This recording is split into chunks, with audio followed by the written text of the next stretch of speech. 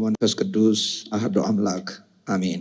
ምሕረት የባሕርይ የሆነ ቸርነት ያተ የሆነ ጥባቆትና መግቦት የራሴ የሆነ አምላካችን በምሕረት በቸርነት በአባትነት ፍቅርህ ይህን ጊዜ እንዲህ ባለ መልኩ አንተን በማመስገን እኛም በመጽናናት ሌሎችን በመስጠት በቡራኬ ስለባረከን ስለቀደስከን አብረህን ስለነበርክ ክብር፣ ምስጋና፣ ውዳሴ ለአንተ ይሆነልን።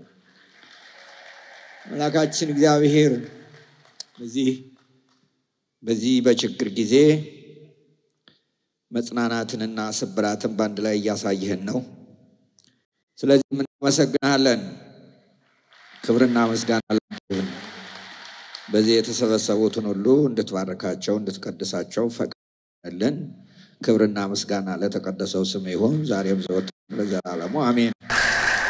ብፁዕ አባታችን አቡነ ኤርምያስ ዶክተር የሰሜን ወሎ ሀገረ ስብከት እና የቅዱስ ሲኖዶስ አባል እንደዚሁም የዚህ ታላቅ ጉባኤ የቤተ ክርስቲያን ተስፋ በቤተ ክርስቲያናችን ስብራት በአገራችን ስብራት ጊዜ ጠጋኝ ወጌሻ ሆነው የቆሙ አባታችን ብፁዓን አበው ሊቃነ ጳጳሳት በዚህ ያላችሁ ከላይ እስከ ታች ከትንሽ እስከ ትልቅ እንደየማረጋችሁ ኢትዮጵያውያን ወገኖቻችን እግዚአብሔር ቸር ነው፣ ምሕረቱ ብዙ ነው።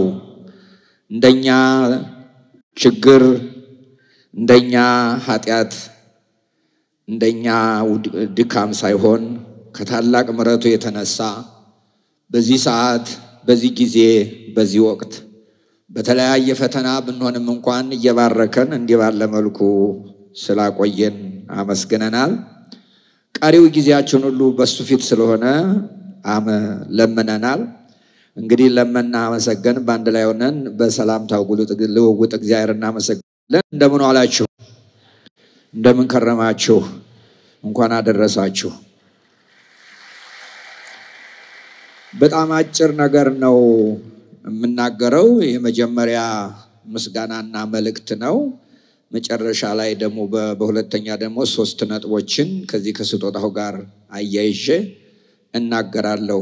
በመጀመሪያ ብፁዕ ቅዱስ አባታችን አቡነ ማትያስ ፓትርያርክ ርዕሰ ሊቃነ ጳጳሳት ዘኢትዮጵያ ሊቀ ጳጳስ ዘአክሱም ወዕጨጌ ዘመንበረ ተክለ ሃይማኖት ይሄ ፕሮግራም በጅሙ ብፁዕነታቸው እያማከሯቸው እንደነበር ስለማውቅ መመሪያ በመስጠት አባታዊ ጸሎት በማድረግ እናም ደግሞ ምክር በመስጠትም በመጸለይም እየባረኩን እየቀደሱን ነበረ። ዛሬ ለመምጣት ያልቻሉበት ሌላ አስቸኳይ ጉዳይ ስለገጠመ ነው። ስለዚህ ቅዱስነታቸው ቡራኬ ይድረሰን። እንደገና አሁንም ቡራኬያቸው ይድረሳ ቡራኬያቸው ይድረሳችሁ። ቡራኬያቸውን ለመስጠት እፈልጋለሁ። በሁለተኛ ደረጃ ሁለት ነገሮች ሁለት ተቃራኒ ነገሮች አየሁ። ስብራትና መጽናናት ስብራትና መጽናናት በአንድ ላይ እዚህ ቦታ እያየው ነበር። መጽናናት የሚለውን ሐሳብ ከብፁዕ አቡነ ኤርምያስና በሳቸው ዙሪያ አጠቃላይ በዚህ ፕሮግራም ከመጀመሪያ ጀምሮ ያ ችግር ከተጀመረበት ጀምሮ አሁን እስካለንበት ይሄ ሰፊ ማስጀመሪያ እስከተጀመረበት ጊዜ ድረስ በተደረገው ነገር ሁሉ ያየሁት መተባበር፣ መረዳዳት፣ በጸሎት፣ በሐሳብ፣ በጉልበት፣ በገንዘብ አጠቃላይ ጠርተን በማንጨርሰው መልካም ነገር ሁሉ የተደረገውን ነገር ሳይ እጽናናለሁ። ነገር ግን ደግሞ በዚያው ተቃራኒ ደግሞ የሰማሁት አሳዛኝ ታሪክ ከላይ እስከታይ ድረስ ልብ ይሰብራል። ስብራት ነው። የሀገር ስብራት ነው። የኢኮኖሚ ስብራት ነው። የሞራል ስብራት ነው። የግንኙነት ስብራት ነው። የታሪክ ስብራት ነው። ይሄኛው ደግሞ በአንጻሩ የፍቅር መጽናናት ነው። የመራራድ መጽናናት ነው። የተስፋ መጽናናት ነው። እነዚህም ሁለቱን ነገሮች ነው እያየን ያለ ነው። ግን ከስብራቱ ይልቅ ተስፋው ስለሚበልጥ ብፁዕ አባታችን አቡነ ኤርምያስ እዚያ መከራ ቦታ ውስጥ በነበሩበት ጀምሮ አሁን እስካለንበት ዛሬ እስካየሁት ጥንቅቅ ያለ ሪፖርት ድረስ እያንዳንዷ አንድም ሳትቀር ልቅም ተብላ ተጽፋ የተጻፈችው ደግሞ በሚገባ ቋንቋ ተነባ የተነበበችው በሰው አእምሮ እንድትቀረጽ ያደረገችው የአሰራር ስልትና ዘዴ ቤተ ክርስቲያን ተስፋ እንዳላት አምኛለሁና እግዚአብሔር አሁንም ተስፋ አድርጎ ያቆመዎት። ይሄ ጉዳይ ብቻን ስለማይሰራ አንድ ሰው ምንም ጠንካራ ቢሆን ስለማይሰራው የፈለገ አዋቂ ቢሆን የፈለገ ነገር ቢሆን ስለማያደርገው በዙሪያዋ እርስዎን እየደገፉ ቡራኪዎትን እየተቀበሉ ምክር እየለገሱ በዙሪያዎት አብረዎት የሰሩትን ሁሉ እግዚአብሔር ይባርካቸው። አሁንም አመሰግናቸዋለሁ። ዛሬ ከብፁዓን አባቶች ጀምሮ ገንዘብ የሰጣችሁ ገንዘብ መስጠቱ ብቻ ሳይሆን ያሰባችሁ ሁሉ እግዚአብሔር በእውነት በበረከቱ ይጎብኛችሁ እላለሁ። ከዚህ በላይ ቋንቋ ስለሌለኝ አንዳንድ ጊዜ ሰው ሁለት ጊዜ ዝም ይላል የሚል አባባል አለ። አንድ ጊዜ በጣም ሲደሰት፣ ሌላ ጊዜ በጣም ሲያዝን። አሁን በጣም ስለተደሰትኩ የሚገልጽ ቃል ስለለኝ እንዲሁ በአንድ በተጠቀለለ ቃል እግዚአብሔር በበረከቱ ይጎብኛችሁ እላለሁ። በስጦታው ዙሪያ ስጦታ ሶስት መሰረታዊ ዓላማዎች አሉት። የመጀመሪያው ስጦታ የመቀበል አንደኛው መንገድ ነው። ሰጪ ሰው በተዘዋዋሪ ወይም ደግሞ በቀጥታም ሆነ በተዘዋዋሪ እንደ እግዚአብሔር ቃል እግዚአብሔር እንደተናገረው ቃሉ ስጦታ መቀበል ነው። ጌታችን መድኃኒታችን ኢየሱስ ክርስቶስ ሲናገር ስጡ አቤት ይሰጣችኋል ስለተባለ የመስጠታችን ዋና መንገድ የመቀበላችን በር ነው። መጽሐፍ እንደሚል የተትረፈረፈ የታመቀ የተትረፈረፈ ስጦታ ትቀበላላችሁ ነው የተባለው። የሰጠው ሁሉ ትርፍ እንደሚያገኝ በየትኛውም የመጽሐፍ ቅዱስ ክፍል እና በታሪክ ክፍል እናነባለን። ምንም ነገር የሌላቸው ድሃ የሆኑ ሰዎች ከሰዓት በኋላ ለመሞት የተዘጋጁ ሰዎች ያላቸውን ሰጥተው ማድጋቸው ሲሞላ ማሰሯቸው ሲትረፈረፍ አንበናል። የኤልሳን መበለት ብታዩ ትችላላችሁ። ስለዚህ የመጀመሪያው በምትሰጡ ጊዜ ስትሰጡም ስታስቡ የመጀመሪያው ነገር በልባችሁ ከዛሬ ጀምሮ በስጦታ ላይ የምትይዙት መር ስጦታ ማለት የመቀበል አንደኛው መንገድ ዋነኛው መንገድ ነው። አንደኛው አይደለም። አንድ ሰው ሰጠ ማለት በሌላ መልኩ ሁላችሁ ተቀበለ ማለት ነው። ስለዚህ ስጦታ የመቀበል መንገድ እንጂ የጉድለት መንገድ አይደለም። ይሄንን አንደኛ ትይዛላችሁ። ሁለተኛ ስጦታ የሌሎችን ጎደሎ መሙላት ነው። ሁለት ምሳሌዎች ባጭሩ ልንገራችሁ። ዛሬ እኔ አንድ ክፍለ ሀገር ነበር የነበርኩት። በጣም ዝናብ ነበር፣ በጣም ጭቃ ነበር፣ ጉም ነበር፣ ጥቅጥቅ ያለ ነበር። በየመንገዱ ወደ 150 ኪሎ ሜትር መንዳት ነበረብን ወደ ኤርፖርት ለመድረስ እና በዚያ መንገድ ዳር ዳሩን ቤተ ክርስቲያን ነበር። እዚያ ቤተ ክርስቲያን ሶስት ነገሮችን አየሁ። ልቅሶ አየሁ፣ ሽምግልና አየሁ፣ ክርስትና አየሁ፣ ጸሎት አየሁ። የሰማችኝ ነው። ልቅሶ አየሁ፣ የጸሎት ፕሮግራም እና የክርስትና ፕሮግራም አየሁ፣ የሽምግልና ፕሮግራም አየሁ። አንድ ቤተ ክርስቲያን ፈረሰ ማለት ይሄ ማህበረሰብ ይህንን አጣ ማለት ነው። እዚህ ግንኙነት ተቋረጠ ማለት ነው። ቅድም ያ የሙስሊም ወንድማችን የሙስሊም እምነት የእስልምና ተከታይ ወንድማችን የተናገረው አንድ የእምነት ተቋም ፈረሰ ማለት ቤተ ክርስቲያኑ አይደለም ወይም ተቋሙ አይደለም የፈረሰው፣ ህዝብ ነው የፈረሰው ብሎ ነበር። ስለዚህ ዛሬ የዛሬ ስጦታችን እነዚህን መቶ ሰማንያ የተሰበሩ አብያተ ክርስቲያናት የጎደሉ አብያተ ክርስቲያናት መሙላት ነው። የስጦታችን አንደኛው ጎደሎን መሙላት ነው። እኛም አንድ ቀን ሊጎለን ስለሚችል ዛሬ የሞላናቸው የሞላ ጎደሎ የሞላንላቸው ነገ የእኛን ጎደሎ ይሞላሉ። ይሄ ሁለተኛው የስጦታችን መሰረት ነው። ሶስተኛው የስጦታችን መሰረት እነዚህ የተቀበሉ ሰዎች የትኛውም እምነት ይኑሩ፣ እምነት እንኳን አይኖራቸው፣ ሰጩን ያመሰግናሉ። ሰጩን ደግሞ ሰጩን የፈጠረው አምላክ ያመሰግናሉ። እግዚአብሔርን ለማመስገን ለእግዚአብሔር ክብር ምክንያት እንሆናለን።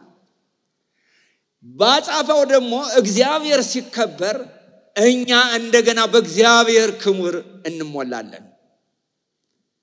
ይህንን ነው ስብራትና መጽናናት ያልኩት። በብዙ መልክ በዚህ ሰሞን በዚህ ዓመት ተፈትነናል።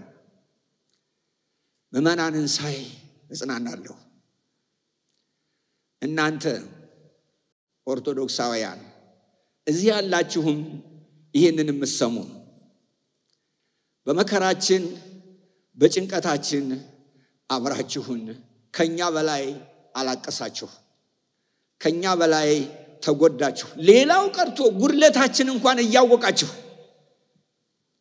ሌላው ቀርቶ ሙሉ አለመሆናችን እንኳን እያወቃችሁ አባቶቻችን ብላችሁ አጽናናችሁን።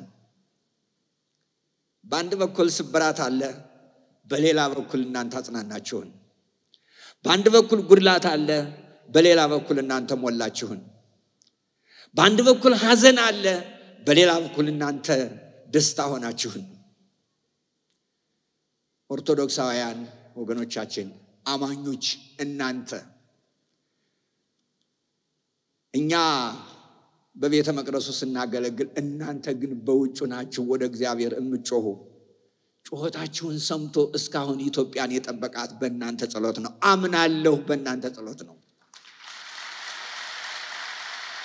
ይህንን እንደ ቀላል እንዳትቆጥሩት። ይህን እንደ ቀላል አትቁጠሩት። ይሄ ትልቅ በረከት ነው።